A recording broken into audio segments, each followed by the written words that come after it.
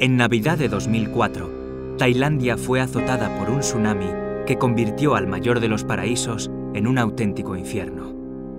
Fran, un joven español, decide viajar a Tailandia buscando un cambio de rumbo. El escritor Daniel Zaragoza nos trae una historia de aventuras y superación.